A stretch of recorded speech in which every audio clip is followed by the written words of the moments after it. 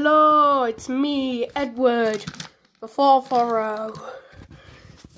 Second day. We will open it. Okay. Okay. Let me just. Let's see what we got. Ooh, you got a cleaning station. That's interesting. I'm gonna build it off camera like Thomas. Okay, here it is.